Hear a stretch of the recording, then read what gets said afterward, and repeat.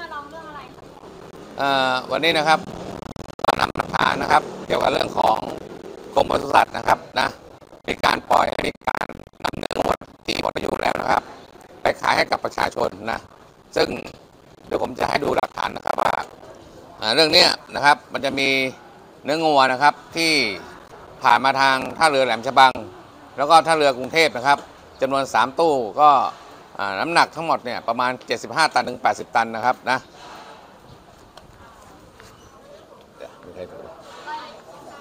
ผมไปดูภาพนะครับ คืออันเนี้ยนะครับ มันจะบอกเลยนะครับว่า ตู้เนี่ยนะครับ มีการมาจากประเทศอันไหนนะครับมาจากอุรุกวัยผ่านท่าเรือแหลมฉบังเมื่อวันที่เท่าไหร่นะครับ แล้วก็มีใบอนุญาตรอหกใครเป็นผู้อนุญาตก็คือนายอนุรักษ์ม่วงทิมนะครับ แล้วก็ ใบอนุญาตรอเจ็ดคืออนุรักษ์ม่วงทิมเหมือนกัน แล้วก็มีใบอนุญาตรอสามนะครับ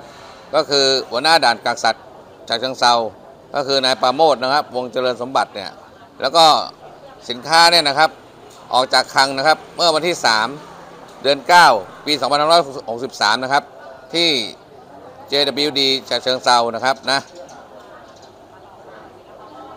ทีนี้ผมจะให้ดูภาพนะครับ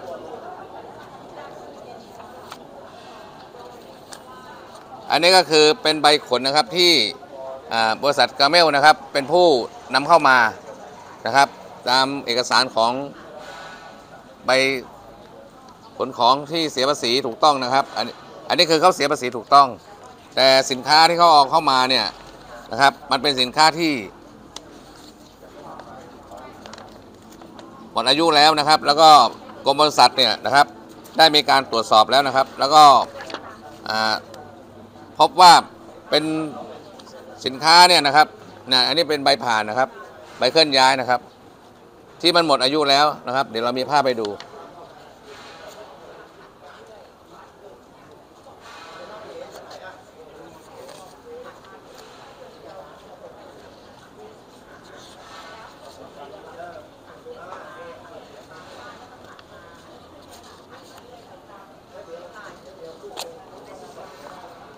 อันนี้เป็นกล่องนะครับที่บรรจุ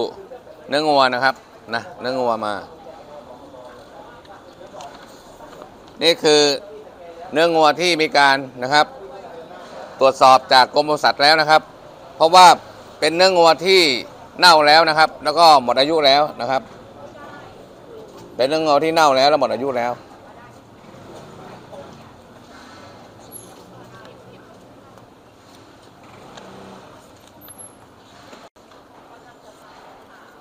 รถที่มีการนะครับบรรทุกเนื้องัวที่หมดอายุแล้วนะครับ ก็เป็นรถคันนี้นะครับนะ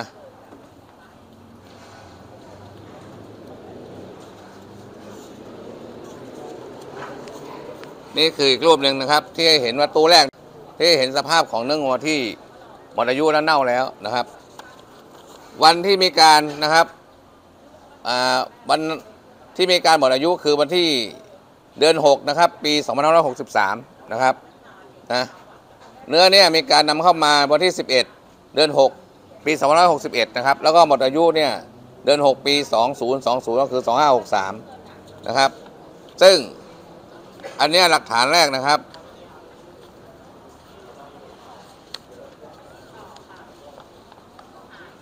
มีการเอาออกไปจากคลังสินค้านะครับ วันที่ 3 เดือน 9 นะครับปี63กับเมื่อกี้เนี่ยหมดอายุคือเดือน 6 ปี 63 นะครับดังนั้นเนี่ยหลักฐานอันนี้ทำให้เห็นว่า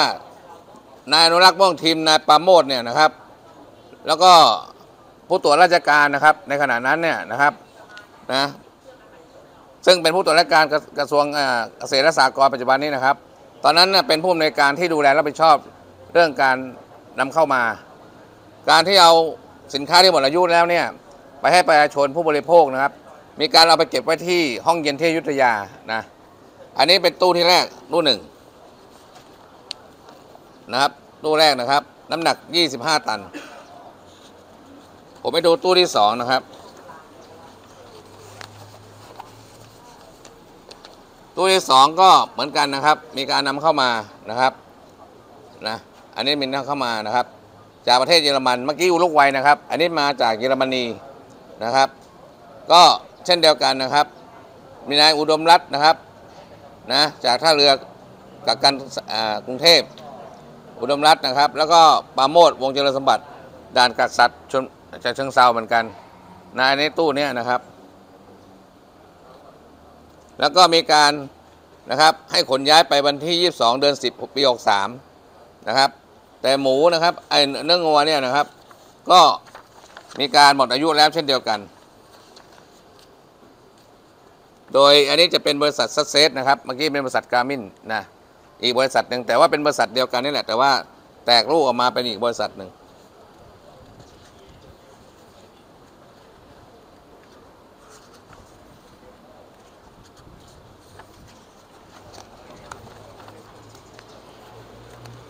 อันนี้ก็จะมีลายเซ็นของนายด่านนะครับ ที่อนุญาตให้ ผ่านราชอาณาจักรนะครับ อันนี้มีเอกสารยืนยัน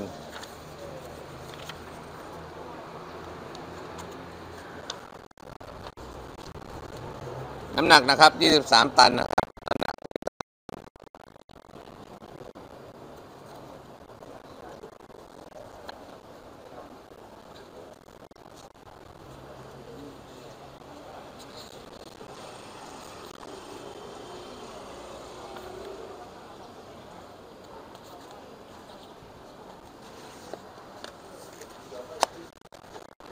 ก็กล่องพัสดุก็จะเป็นแบบนี้นะครับ ที่ผ่านผ่านการตรวจแล้วนะครับ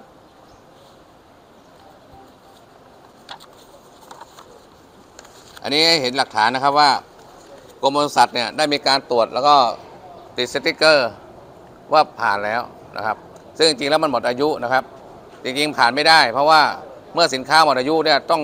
อายัดไว้ทำลายนะครับ แต่กลับปล่อยให้มีการเอาไปขาย ตู้นี้นะครับนะ มันจะหมดอายุคือเดือน4 2563เมื่อกี้ออกไปคือเดือน10นะครับนะอันนี้ก็คืออยู่ในสภาพที่เน่าแล้วนะครับ เป็นเนื้องัวที่เน่าแล้วนะ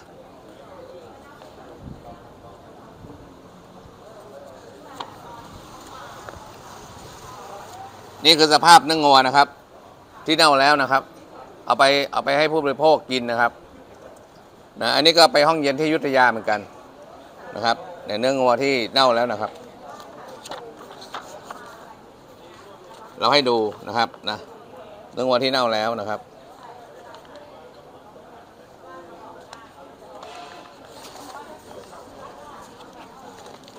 อันนี้จะเป็นกล่องเห็นไหมครับ ก็จะมีระบุชัดเจน ระบุชัดเจน อันนี้จะเป็นตู้ที่สามตู้ที่สามเนี่ยจะมาจากอิตาลี เมื่อกี้เริ่มต้นอุรุกวัยเยอรมัน อิตาลีนะครับ ก็เข้ามานะครับนะก็มีนายอุดมรัตน์เหมือนเดิมนะครับ จากด่านกักสันสัตว์ท่าเรือกรุงเทพ มีนายปาโมดนะครับ ก็ด่านกักสัตว์ชลบุรี เอาออกไปนะครับ เมื่อวันที่ 7 เดือน 1 ปี 2564 อันนี้ยิ่งหนักเลยนะครับ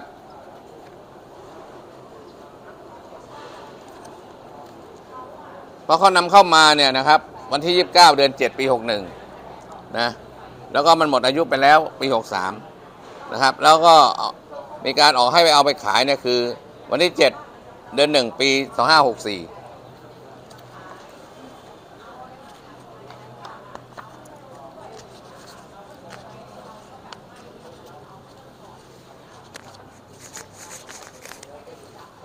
ก็จะมีใบขนย้ายเช่นเดียวกันนะ ของบริษัททุกใบนะครับ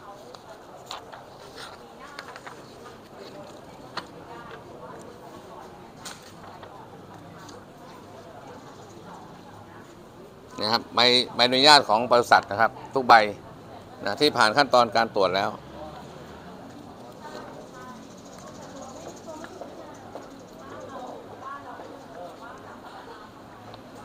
เนี่ยสภาพนะครับ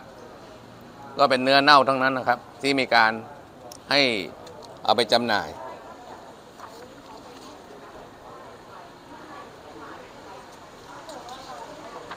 นี่ก็จะเห็นว่าการซีนนะครับที่ตู้ไดเนอร์นะครับ การซีนมีการตรวจสอบหมดแล้วนะครับ ซึ่งเนี่ยพวกนี้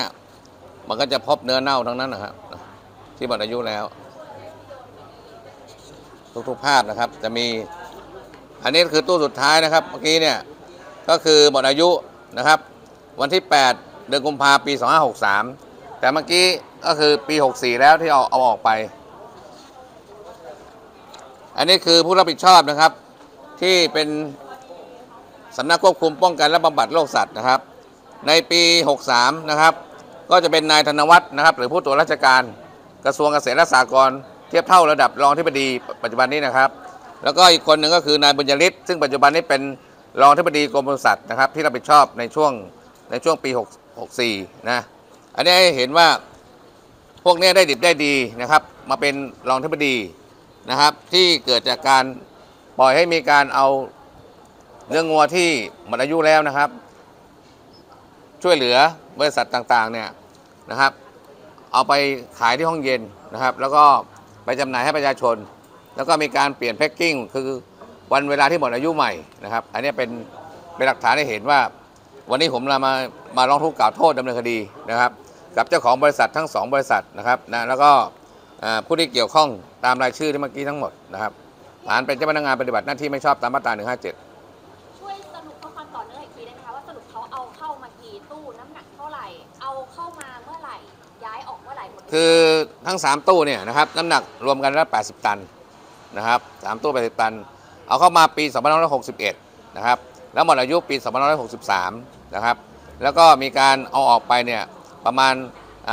ปลายปี 63 กับต้นปี 64 นะครับ ซึ่งมันหมดอายุไปแล้วมันไม่สามารถเอาไปจำหน่ายได้แล้ว มันจะต้องอายัดไปทำลายอย่างเดียว แต่ปรากฏว่าเจ้าหน้าที่บริษัทพวกเนี้ยมีการปล่อยให้มีการเอาไปจำหน่ายให้กับผู้บริโภคนะครับ อันนี้เป็นเป็นหลักฐานที่เราทำให้เห็นว่ากระบวนการเนี่ยนะครับ มันเข้ามาถูกต้องนะ อันนี้คือถูกต้องตามกฎหมายคือมีการจ่ายภาษีถูกต้อง แต่เมื่อตรวจตู้แล้วเนี่ยเพราะว่ามันเป็นสินค้าที่หมดอายุแล้วเนี่ยคุณจะต้องอายัดแล้วก็ทำลาย แต่นี่คุณกลับปล่อยให้เขาไปขายให้กับนะครับเจ้าของบริษัทนี้โดยผ่านห้องเย็นต่างๆ แล้วก็ไปจำหน่ายให้กับประชาชนผู้บริโภคที่เป็นเนื้องัวครับเบื้องต้นเนี่ยค่ะเราจะดำเนินคดีกับใครบ้างอะคะก็นายด่านกักกันสัตว์ที่ฉะเชิงเซานายด่านกักกันสัตว์ที่ชลบุรี แล้วก็ นะครับ ตัว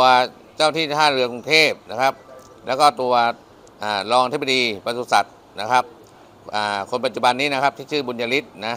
แล้วก็มีอีกคนหนึ่งก็เป็นผู้ตรวจราชการนะครับ ก็ชื่อธนกิจนะอันนี้ก็เทียบเท่ากับระดับ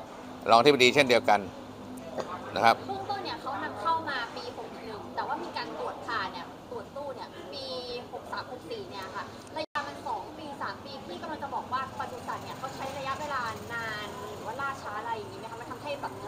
คือเดิมพวกนี้มันเข้ามาไม่ได้ เพราะบางทีมันเป็นเนื้องัวที่ต้องห้ามอะไรอย่างเงี้ยนะครับ แล้วก็เมื่อมาถึงด่านแล้วเนี่ยเขาต้องตรวจสอบก่อน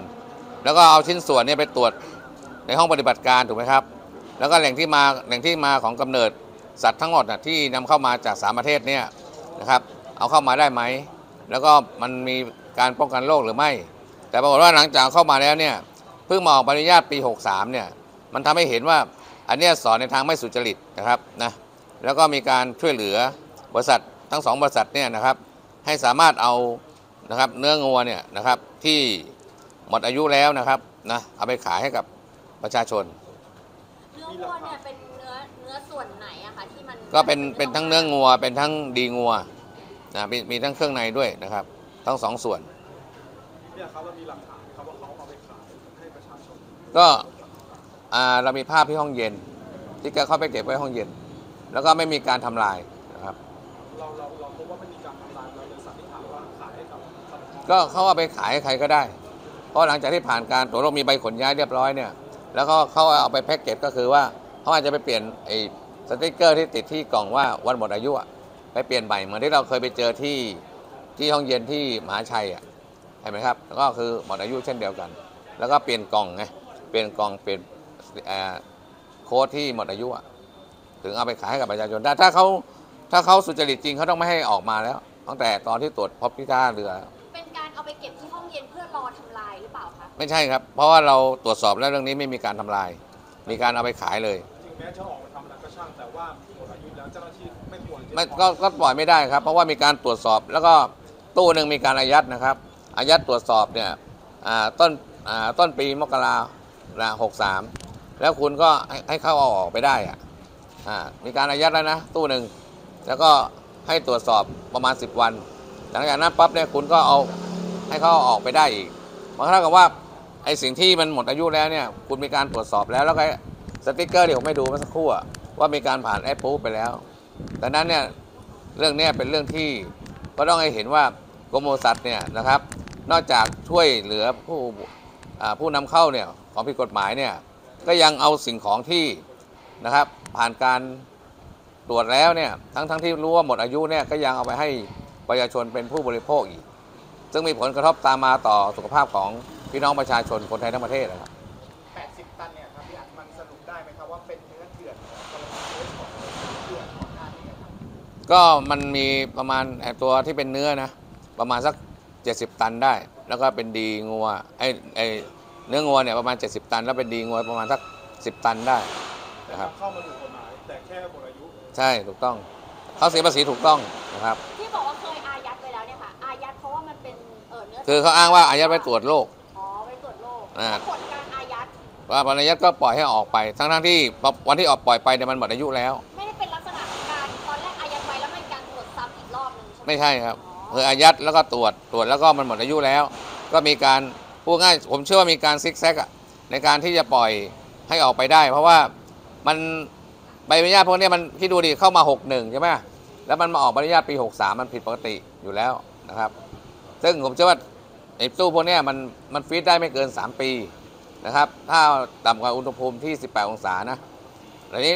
หลังหลังจากที่เราเห็นเอกสารเนี่ยเข้ามาปี 61 อนุมัติอนุมัติเนี่ยออกใบอนุญาตรอ7รอ6รอ3เนี่ยปี 63 นะครับแล้วก็ให้ขนออกไปปี 63 ปลายปีกับ 64 ต้นปีมันก็เห็นแล้วว่าทุกอย่างมันหมดอายุแล้วนะครับจาก 80 ตันเนี่ยยังมีการแจกจ่ายหรือว่าขายให้กับประชาชนไหมครับณปัจจุบันผมเชื่อว่าเอาไปขายหมดแล้วครับหมดแล้วหมดแล้ว เพราะว่ามันเกิดตั้งแต่ปี 64 นะ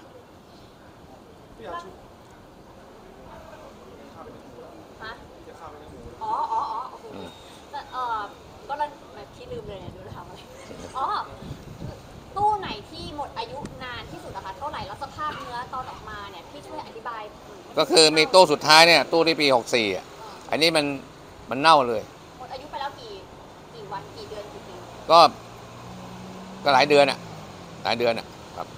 สภาพเน่านี่คือแบบว่ายังไงคะส่งกลิ่นเลยไหมหรือว่ามันมันมันถ้ามันถ้ามันปล่อยให้ละลายอะมันก็จะเน่าก็เหมือนกับมีกลิ่นอะมีกลิ่นเหม็นอะครับพี่อันนั้นผู้บริโภคเขาไม่เออ ร้องหรือว่าเอ๊ะทำไม ใช่พูดว่า เขาไม่รู้หรอกเพราะว่าเวลาพวกนี้เวลาที่มันเอาไปมันอาจจะไปทำไปเอาไปล้างหรือไปทำอะไรสักอย่างอะทำปฏิกิริยาอ่าปฏิกิริยาใหม่ใช่ครับมันมันมีขั้นตอนของมันอะเพราะว่าอันนี้เป็นเนื้องัวไงซึ่งผู้บริโภคก็จะเป็นพวกอิสลามอะนะครับเขาก็คงไม่รู้อะครับ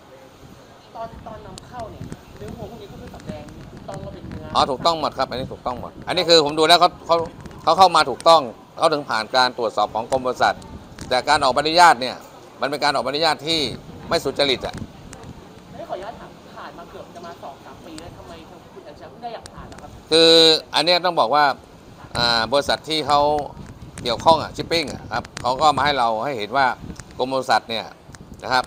มีการออกออกใบอนุญาตแบบเนี้ยรอหกรอเจ็ดรอสามเนี่ยแล้วจริงๆเนี่ยที่ผ่านมาจนถึงปัจจุบันเนี่ยก็ไม่ได้มีการตรวจสอบแบบนี้เลยนะครับให้เห็นว่าเขาทำมาตั้งแต่ปีปี 63 นะครับ แล้วก็ 64 65 จนถึงปัจจุบันเนี่ยก็ไม่ได้เป็นอย่างที่เขาอวดอ้างไงว่ามีการตรวจโรคอะไรต่างๆเนี่ยซึ่งจริงๆแล้วมันไม่มีนะครับ เพราะไม่นั้นเนี่ยเวลาที่บริษัทที่เราไปขายให้เห็นใช่ไหมอย่างสยามแมคโครอะที่ตอนนี้สยามแมคโครก็บอกว่าเขาซื้อมา เพราะมันมีใบอนุญาตของกรมบริษัทใช่ไหมครับผมก็อยากจะบอกสยามแมคโครว่า ก็ลองไปให้ให้บริษัทตรวจดูว่าใบอนุญาตที่คุณซื้อมาเนี่ยมันถูกต้องไหมมันตรงไหมเพราะขนาดเนี่ยที่เรามาให้ดูเนี่ย มีใบอนุญาตถูกต้องนะ แล้วก็ออกโดยบริษัทด้วย แต่มันหมดอายุแล้ว แสดงว่าขั้นตอนพวกนี้มันน่าจะมีอะไรที่มันผิดปกติดังนั้นก็เหมือนกันของสยามแมคโครเนี่ยที่คุณบอกคุณซื้อมามากมายเนี่ยนะครับ บริษัทเนี่ยก็ไปขายให้กับสยามด้วย อันนี้คือฝากไว้ด้วยว่ามีการไปขายด้วยเหมือนกันนะครับ ผมไม่ได้ว่าสยาม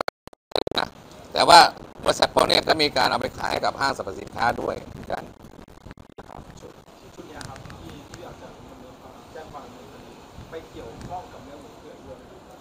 กลุ่มนี้ก็คือทำเนื้ออย่างเดียว ไม่เกี่ยวกับเนื้อหมูไม่เกี่ยวเนื้อหมูคนละชุดกันคือมันจะมีกลุ่มที่ทำหมู กลุ่มที่ทำทำพวกเนื้อเนื้องัวกลุ่มทำตีนไก่ทำตีนไก่ก็ทำเนื้องัวเนื้อเนื้อหมู ลุ่มเดียวกัน แล้วก็กลุ่มทำไอ้เนื้อไอ้เนี่ยอ่าเนื้องัวเนี่ยก็จะเป็นอีกกลุ่มหนึ่งอันนี้จะเป็นกลุ่มที่เจ้านี้คือเจ้าเดียวที่ที่ใหญ่ที่สุดในประเทศไทยนะครับของสองบริษัทเนี่ยที่มีการนำเข้าเนื้องัวมามากที่สุดในประเทศไทย แต่ก็ไม่ใช่ทั้งหมดที่ที่อันนี้ไม่ใช่ของทั้งหมด อันนี้คือสามตู้ที่เราเจอครับสามตู้ที่เราเจอ แต่ว่าก่อนหน้านี้หรือหลังนี้เราก็ไม่ทราบนะเอาเฉพาะที่เรามีหลักฐานนะสำหรับเนื้อหมูครับมีภาคต่อไหมหลังจากนี้อ่าเนื้อหมูเนี่ยนะครับ ภายในสัปดาห์เนี้ก็ยังทำต่อเหมือนเดิมของดีไอนะครับ ซึ่งจริงๆ ผมก็ต้องเป็นนำค้นแหละ แต่ว่าเนื่องจากว่าผมติดคดีที่ปปช ก็เลยชี้เป้าไว้ให้เรียบร้อยมาแล้วว่า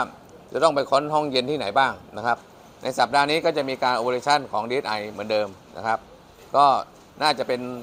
ไม่เกินวันที่ 7 นะครับ น่าจะมีการโอเปอเรชั่นของห้องเย็น นะที่เกี่ยวพันกับคดีที่เราไปค้นที่ลักชัยอะไรครับการสับเปลี่ยนตำแหน่งอธิบดีมันมีผลไหมพี่ไม่ฮะคือคือต้องบอกอย่างนี้ก่อนว่าอ่าเมื่อมีการแตกเลขคดีนะครับ แล้วก็เข้าสู่คณะกรรมการคดีพิเศษเนี่ยคณะพนักงานสอบสวนเนี่ยนะครับ จะไม่จะไม่มีใครสามารถมาแทรกแซงได้นะครับ เพราะว่ามันจะเป็นอำนาจของหัวหน้าพนักงานสอบสวนทันทีก็คือนัทพลดิษยธรรม อธิบดีก็ไม่มีส่วนเกี่ยวข้อง แค่มาดูว่าความคืบหน้าคดีไปถึงไหน แล้วก็เพียงแต่ว่าหัวหน้าชุดก็จะรายงานไปยังอธิบดีทราบว่า วันนี้มีปฏิบัติการค้นนะไปพบเอกสารหรือพบไอ้พวกซากสัตว์หรือไม่แค่นั้นเอง ดังนั้นเนี่ยการทำงานของดีไอมันจะเป็นรูปของคณะทำงานคดีพิเศษ ซึ่งมีประมาณ 40 คน เวลาที่เขาลงมติเนี่ยเขาจะโดนลงให้มากกว่าครึ่งหนึ่งของของคณะกรรมการคดีพิเศษนะครับ ที่เราเราแต่เป้าหมายใหญ่ๆเราไม่ได้เคลื่อนอ่าอย่าง Lotus Express เนี่ยขณะนี้หลักฐานยังไม่ถึง นะครับ ต้องบอกก่อนว่ายังไม่ถึงนะเพราะว่ามันต้องไปจับที่หนึ่งก่อนพอจับที่หนึ่งก็แล้วก็ได้หลักฐานมาแล้วจะมาถึง Lotus Express นะครับโอเค เอาเรื่องย้ายอธิบดีไหมเดี๋ยวบอกให้ฟัง เอาหน่อยไหมมีคืออย่างเงี้ยการย้ายอธิบดีสุริยาสิงหกมลเนี่ยปัญหาหลักมาจาก 3 ประเด็นนะครับ ประเด็นแรกคือว่า มีการไปค้นแม่สยามแมคโครนะครับ อันนี้แน่นอนนะครับ ประเด็นที่ 2 ไปแตะเจ้าของนายทุนพรรคการเมืองพรรคหนึ่งแหละนะที่มีผลต่อซีกรัฐบาล ก็คือไปจับนายฟอร์ดซึ่งเป็นเจ้าของเว็บพนันยูฟ่าแล้วก็เป็นคนที่สนับสนุนเงินให้กับพรรคการเมืองนะครับหลายร้อยล้านบาทนะครับ แล้วก็สิริยาสิงหมลเนี่ยไปจับนายฟอร์ดเนี่ยนะครับซึ่งสนับสนุนเงินพรรคที่เกี่ยวข้องกับ ในกระทรวงนะครับในกระทรวงนะเอาว่าไม่ต้องบอกกระทรวงไหนอะนะแล้วทำให้ทำให้เจ้าของกระทรวงเนี่ยนะครับฟิลขาด แล้วก็ให้คนเนี่ยบินมาจากใต้นะครับ มาเจรจากับดีไอเพื่อเพื่อขอให้มีการนะครับไม่ให้ยึดทรัพย์นายทุนคนนี้ที่เป็นผู้สนับสนุนพรรคการเมืองของฝั่งภาคใต้นะครับของในในซีของรัฐบาลนี่แหละทำให้สุริยาสิงห์มลเนี่ยนะครับต้องถูกเด้งอย่างฟ้าผ่า เพราะว่ามามาเหตุเหตุเกิดจากไปค้นแมคโคร สองคือเกิดจากไปจับเจ้าของเว็บพนันยูฟ่านะครับที่มีเงินหมุนเวียนเนี่ยเจ็ดหมื่นกว่าล้านนะครับนะต่อวันนะครับต่อวัน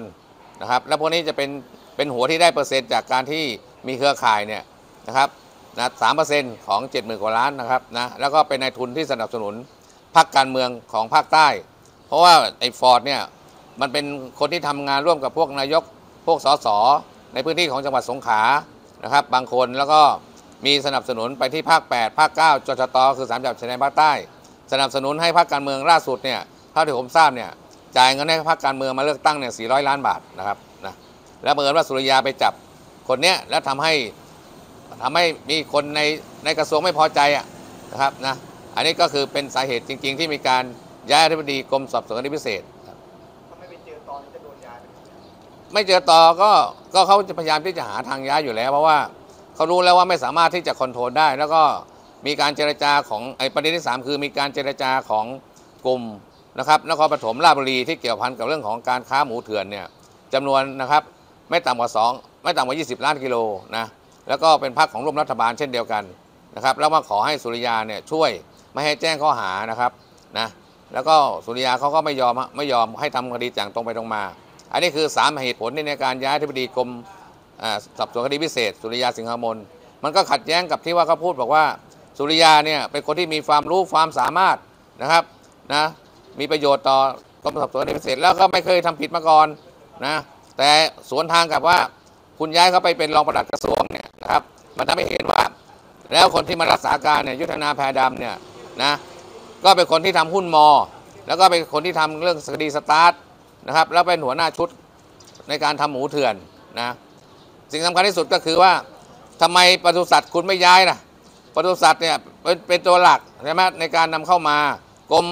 ศุลกากรเนี่ยอธิบดีโดนย้ายไปแล้วกรมประมงเกษตรวิทยาการเหลือแต่กรมปศุสัตว์คนเดียว ที่ยังอยู่ยงกองพันเพราะว่าเป็นคนสนิทของใครนะผมทราบมาว่าเมื่อวันที่นายกนะครับ เรียกอธิบดีกรมสอบสวนพิเศษไปแล้วก็เรียกเรียกปศุสัตว์ไปนะครับกรมปศุสัตว์เนี่ยได้คุยกับทางกระทรวงกับกรมสอบสวนพิเศษว่า ผมเนี่ยโดนย้ายแต่ผมโชคดีว่า มีประธานบอร์ดเจ้าสัวเนี่ยสนิทกับนายกก็เลยโทรบอกนายกให้ช่วยดูแลเป็นพิเศษ ดังนั้นเนี่ยจึงไม่มีใครสามารถแตะต้องนะครับ คนที่เป็นผู้บริหารของปศุสัตว์ได้นะอันนี้มันทำให้เห็นว่ามีการเลือกปฏิบัติของนายกนะครับ รัฐมนตรีเศรษฐานะครับนะเมื่อคุณยังไม่ยอมย้ายบุคคลคนนี้มันจะไม่สามารถแก้ปัญหาเรื่องหมูเถื่อน เนื้อเถื่อนนะครับ และจะมีเรื่องของการเอาพวกแพะพ วกงัวตัวเป็นควายเป็นเป็นหมูเป็นเป็นออกทางชายแดนอีกนะครับ อันนี้มันจะไม่มีทางแก้ปัญหาได้นะครับ แล้วก็จะทำให้เกษตรกรผู้เลี้ยงสุกรรายย่อยเนี่ยนะครับจะล้มหายตายจากภายในสิ้นปีเนี่ยนะครับ ก็แทบจะหมดสิ้นนะครับนะอันนี้คือถ้าไม่ยอมย้ายนะครับ ผู้บริหารของปศุสัตว์นะครับ ก็ฝากถึงร้อยเอกธรรมนัฐพรมเผ่าด้วยนะครับ ว่าใจถึงหน่อยนะอย่าเอาแต่ใจแบบไม่ไม่กล้านะพูดตรงๆไม่กล้านะครับ เรื่องนี้หลักฐานมีชัดเจน เรามีการร้องปปปไป ของเดิมก็ถูกร้องอยู่ที่ปปชก็มีนะครับ บุคคลคนนี้นะครับ เป็นมาตั้งแต่ปี2564จนถึงต่อเนื่องปัจจุบันถึง 66 เนี่ย และเกี่ยวพันกับเรื่องนี้ทั้งหมดนะครับนะ และทำไมถึงไม่โดนย้ายนะครับนะ แล้วเดี๋ยวอีกไม่นานนะครับ ไม่เกินวันที่ 20 นะครับ เราจะมีการนะครับปฏิบัติการผมจะเป็นคนชี้เป้า อีกรายหนึ่งที่เป็นรายใหญ่ไม่ได้เกี่ยวข้อง จะเป็นชุดที่ 4 ที่ไม่ได้เกี่ยวข้องกับในที่ดีไอออกมาโชว์นะอันนี้จะเป็นรายใหญ่ใหญ่มากๆด้วยนะครับนะของ